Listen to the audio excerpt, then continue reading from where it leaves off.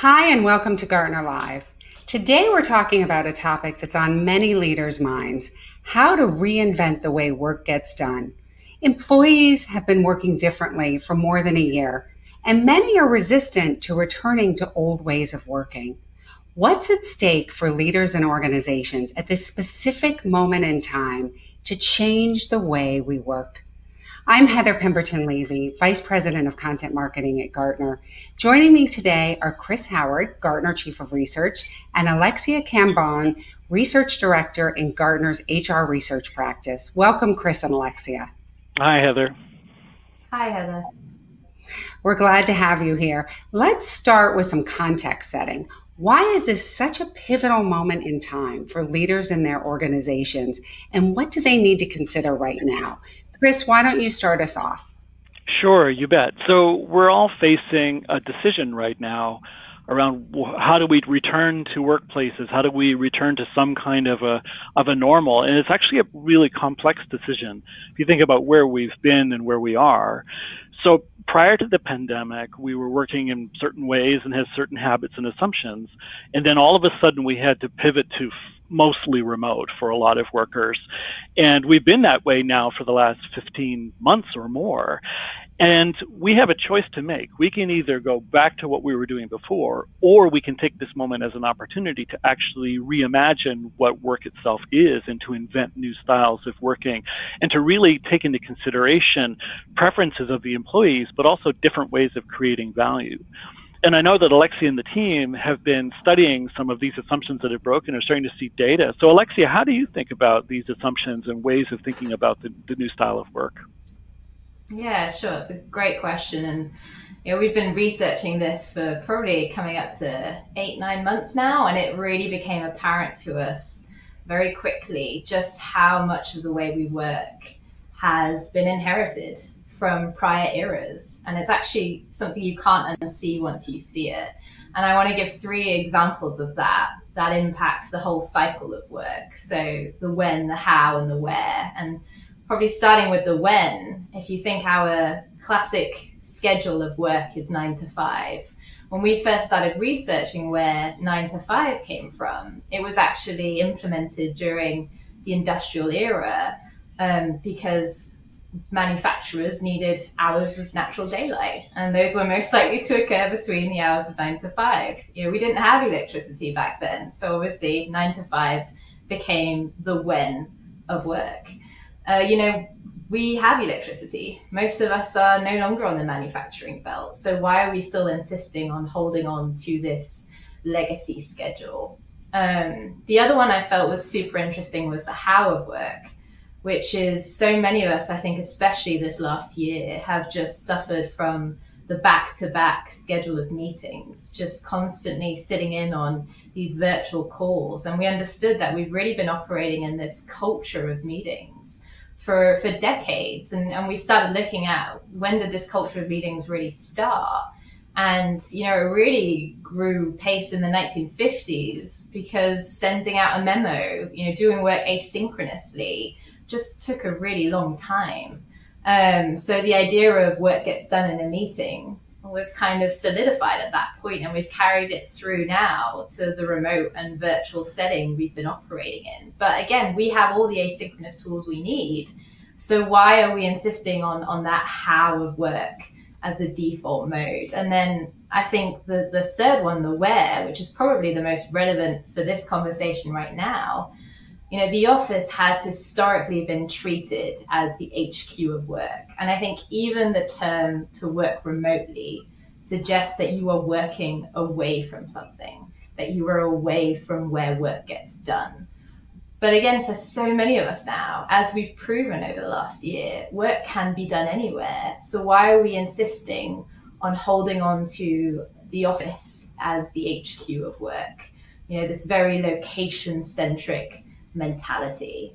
So I think those are some of the things that we're starting to see as we're trying to understand why we work the way we do and why right now, this moment in time, is a real opportunity for us to rethink a lot of how we work and to really question those assumptions. It's really interesting to think about concepts like remote work and the office as headquarters and that mindset that's a legacy mindset. Uh, one of the terms that's been getting a lot of press, and we've been talking about it a lot, is this concept of hybrid work, where you're mingling remote work with office work. And we have some compelling data points that may point to a trend like this, which is that when Gartner surveyed 4,000 employees, 39% of them said they were likely to leave if organizations insist on a hard return to or a wholesale return to a fully on-site experience. Is that really likely to happen? Uh, I think it's yes, but with a certain type of worker. And the the thing is that these are workers that are in high demand. And so if you, for example, you think of people that have data science skills or, you know, modern architecture skills for technology, for example, these are the type of, of people for which the market is really hot right now.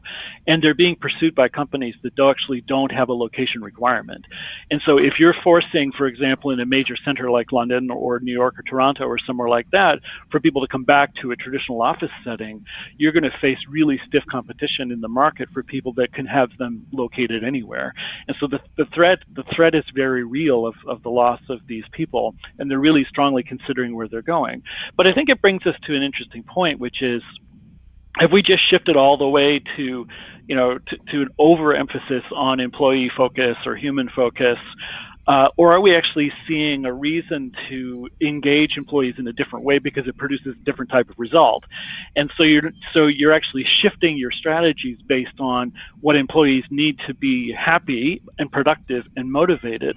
And Alexia, you're seeing data that actually ties, you know, employee motivation and their flexibility to real business outcomes, aren't you?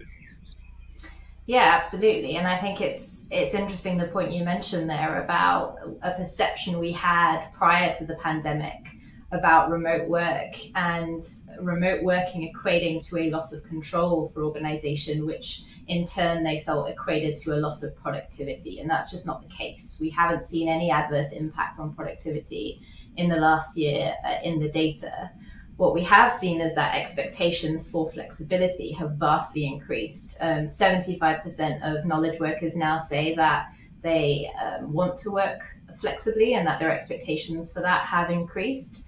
And only 4% really want to go back to a full, um, full-time on-site arrangement. And when we look at why it makes a lot of sense because when you give employees more flexibility, they are actually higher performers. According to our data, they are three times more likely to be high performers when they have flexibility over how, where, and when they work.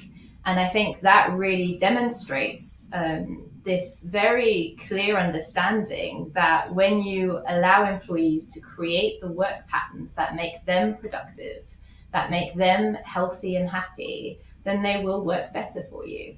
Uh, it is not about a loss of control. It is about empowerment. Um, and I think similarly, you know, we we had a lot of concern in our conversations um, with organizations about, you know, it's all good to give employees flexibility and the power to set their own work patterns, but that's going to have a real adverse outcome on innovation, on collaboration.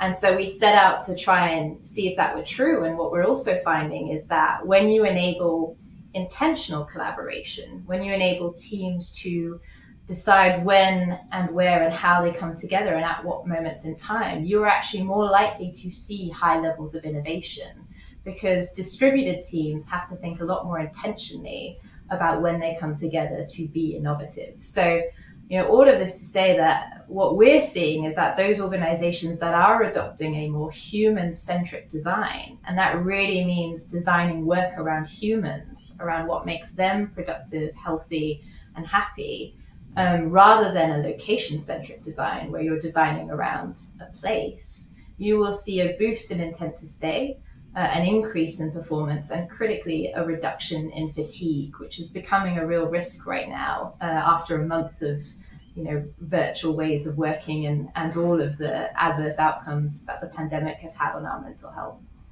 So there are a couple of things that I want to just underline that you said. One is that we need to be intentional about the redesign. That's that's really important. Another is that flexibility does not equal chaos that it actually there is a structure that comes with that. It's just it's a different structure that we need to learn how to manage. So there's a, a learning uh, you know, ramp for for managers there too in terms of dealing with these types of of teams. Um, and and all of these go to this combination of, of, of feeling of personal outcomes, so human outcomes, as well as business outcomes, as well as value outcomes for the from the receivers of what you're you're creating. So it creates this this cycle of good. And a point I want to really emphasize is that that what we're learning through this data and other data around, say, corporate social responsibility is that, that doing good is actually really good for business and for people. And that's what really is driving this from, from all of the research that I'm seeing. It's also intriguing to think about what I'm stitching together here, which is these these old ways of working, the meeting cycle you talked about that came from the 50s, right?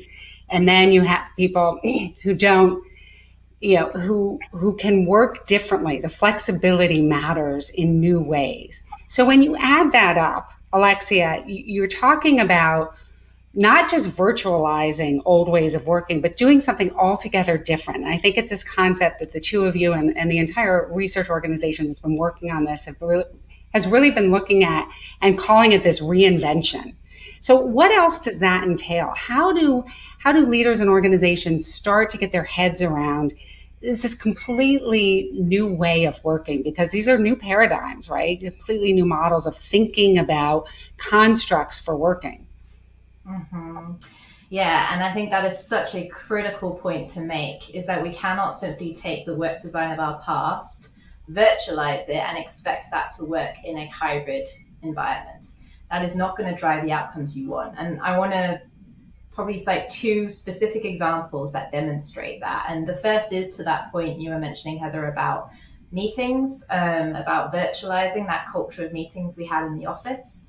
Um, you know, when we went remote, we saw the majority of organizations really encouraging teams and managers to add more meetings to the books to really make sure they they were staying connected with each other to kind of compensate for that lack of face time that we had in that office centric model.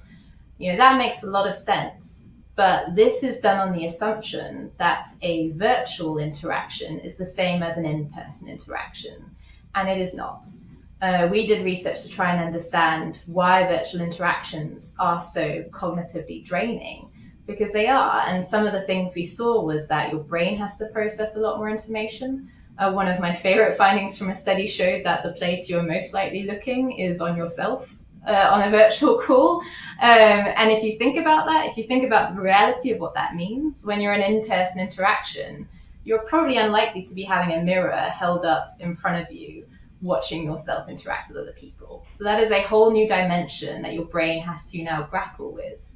So that is one example of how just virtualizing the way we did things in the office is not going to is not going to work and is actually going to drive fatigue. Um, another example that I found hugely fascinating um, and quite worrying, to be frank with you, was we had a lot of anxiety when we first started doing this research about the lack of visibility in the hybrid world, that managers and leaders no longer were able to see their employees, to see how they were doing, to see how they were working.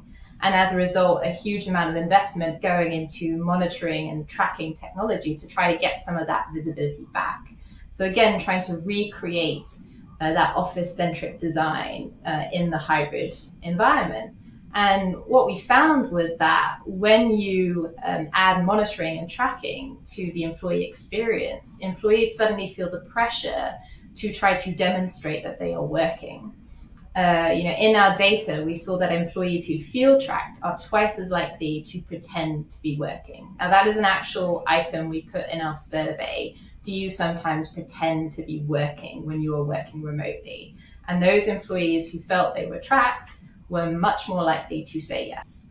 And so, you know, we've taken that office centric design of visibility, tried to virtualize it, tried to recreate that visibility to regain what we lost.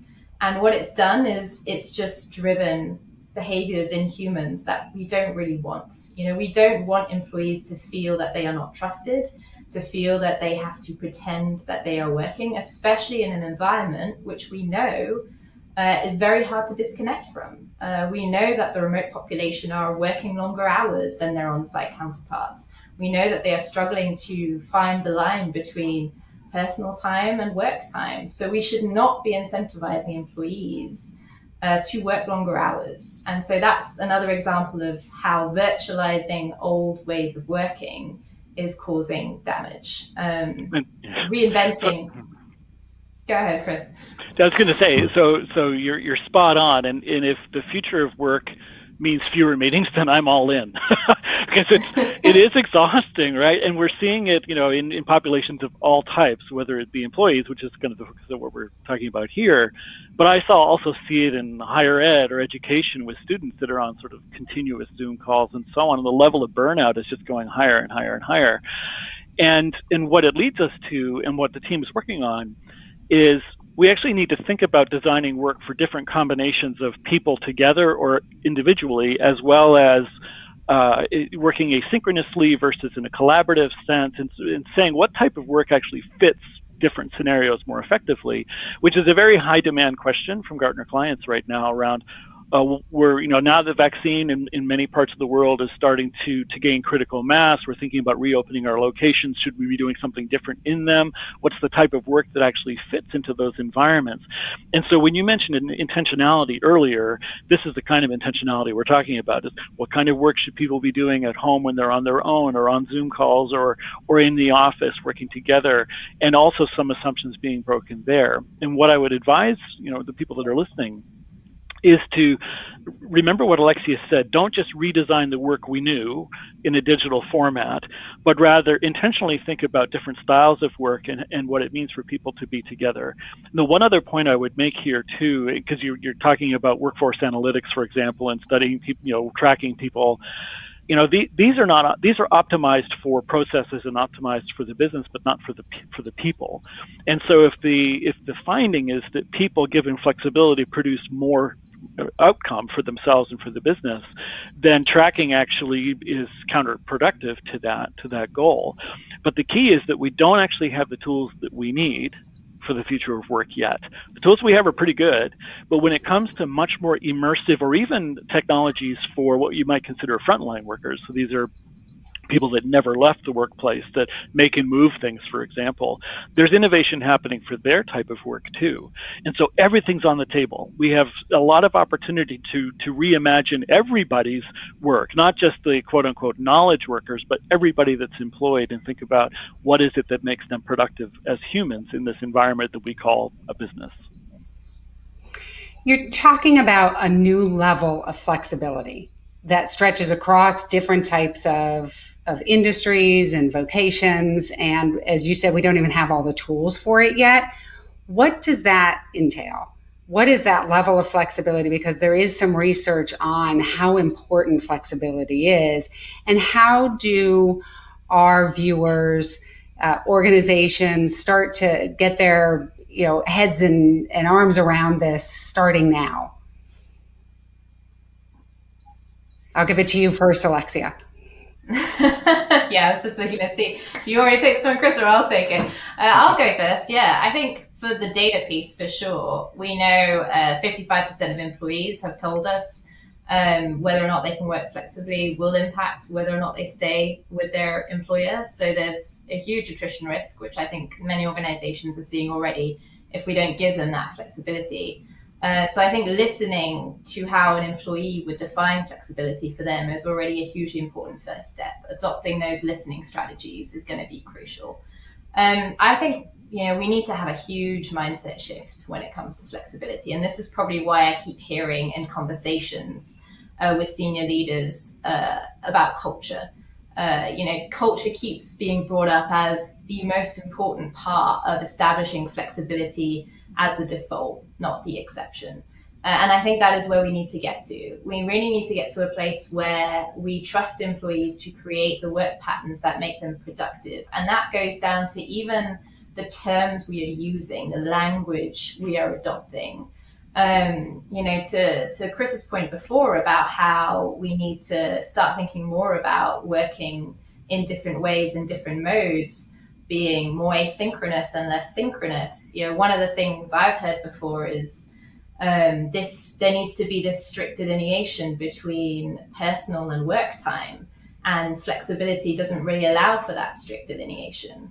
Uh, I think we need to move away from that. I think we need to acknowledge that doing things like going for a run or meditating or going for a walk are hugely important to driving business outcomes. They allow the employee, especially in this more digital world, to take time away from their screens, to do deep focus work, to recharge. And so whenever I hear one of my team members say, Oh, I'm taking personal time, I'm going for a run, I very much encourage them to think of that flexibility as key to their performance. And so moving away from language that suggests that flexible work falls into some kind of binary categorization or language that suggests that flexibility is a, a perk or a reward or something you earn, uh, I think that's a huge mindset shift that needs to happen. Uh, and that means really starting to think about flexibility as a philosophy, not a policy, not something that can be strictly regulated or uh, designed as a one size fits all approach. Because flexibility is going to differ hugely from individual to individual. So, Heather, there's another dimension here, too, of course, which is very real, is that we're still in the midst of the pandemic and some of this flexibility has to do with you know, environment at home and responsibilities at home that interfere with traditional work hours or work styles. There are issues of do I feel safe to return to a physical environment just from a health perspective. And there's a whole set of ancillary concerns like around vaccine certifications and passports and things that will give us some level of, of assurance that, know, that the choices that we're making are the right ones.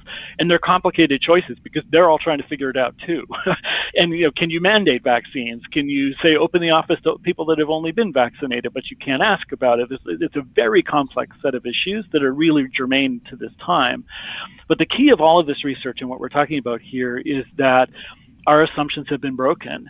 And if you know, some of you will know that it takes three weeks to break a habit, to break a bad habit. Well, what breaks after a year and a half or more? And and what I'm finding with with many of my clients is they're actually looking reflectively back on that and saying, well, what broke that should have been broken? And that puts us in a better place. And how do we actually go beyond from from there? So we've reached this sort of liminal moment where we're all experiencing the same things but the outcome isn't completely clear yet. That's a giant opportunity to actually reinvent exactly what we want to be and to and to to take those things that we've learned and apply them and scale them to, to the future. And that, you know, if I could leave you with any message here, it's really that is don't miss that opportunity to, to take the data that we're seeing, to check the own assumptions that have changed for you and the patterns that you see working with your own environment and make them stick to become the next foundation for what we do. That's great. So, on that, it would be great if you could give us a little bit of overview about the resource center that's been launched because we have a large uh, tiger team in the research organization that's been thinking about this topic across the organization, across every function, because it really does touch most leaders and their organizations. We've launched a resource center for clients with research that stretches across functions. We also have one for the public. So maybe you can talk to us about what that covers. We also will be airing a four episode series, same time, same day, each week over the next uh, four weeks. And so you can tune in next week to learn a little bit more about also returning to the workplace. So, yeah, this is great. So, so when I first we, we've clearly been thinking about this topic for a while because it was some of the earliest questions we had when the pandemic began. But as we're turning this, this corner and thinking about the redesign of work, it was clear that it affected every role that Gartner serves. Uh, and in a couple of, a couple of specific ways. One is that many of you manage people so you're thinking of this as a as a manager and, and, and thinking about reconstituting your workforce physically as as well as emotionally too to be important. So so there's that, but also you often have you have functions to deliver too that are that are being affected by this and having to deliver things deliver things in a more uh, a more remote or virtual way, like events, for example, the, the change we have in, in the the whole events business itself. And so what we've done is we've created this resource center to expose this research, and it's across all of the roles that we have. So from legal and assurance to finance to HR, clearly to IT for digital enablement and everything in between. And so we've created a story that starts around this idea of location versus human-centric design But then we go beyond that, and it'll will continue this clearly through the next through 22 at least to tell a story that's broken up into chapters. And so, Alexia, maybe you could talk just a little bit about how we've how we've structured the the topics themselves. Yeah, absolutely. Uh, you know, to your point, Chris, this has implications across so many different areas, and we've really looked at it in terms of six key priorities that we know all organizations um, need support in. And so the first is that human centric work design piece. How do we implement flexibility across the organization? How do we make individual employees more productive by giving them more control over their work conditions and their work environment? Um, the second is very much around uh, reforming the culture. So, understanding that organizational culture needs to evolve as well in order to stay relevant and effective in a hybrid and future environment. Um, rethinking the workplace is our third key priority. Obviously, the future work has massive implications for how we think about our spaces, about our real estate, how they need to change to keep teams more collaborative, uh, to really help drive that intentional uh, collaboration piece we, we talked about earlier. Um, managing in a hybrid world, this one is, is hugely important to me uh, in particular. Uh, really thinking about how does management philosophy need to change? How do we need to rethink the role of the manager to really help drive this more human centric focus? Right now, a lot of managers are not necessarily set up or incentivized to think about human centricity. So, what needs to change there? Um, digital enablement is our fifth key priority. Obviously, hugely important understanding what are the technologies, the practices that we need to optimize hybrid work in the short term and really fuel organizational prosperity in the long term. Uh, and then finally, our sixth priority shifting talent and skills. So, uh, future of work is going to require us to rethink uh, the skills, the competencies that employees are going to need in the digital future. There are a lot of uh, macro shifts that are happening in the labor market. Uh, what do we need to bear in mind as we design for those realities? Great. We will be covering these topics each Thursday at 10 a.m. Eastern Time in this special series, so make sure to tune in next week. In the meantime, you can download complimentary research, read articles, watch webinars and videos by searching for Gartner Future of Work Reinvented or visiting Gartner.com. If you're a client, we've just launched the Resource Center on the client portal, so make sure to check it out. Thank you, Chris and Alexia, and thank all of you for joining us. We'll see you next week. Thanks, Heather. Thank you.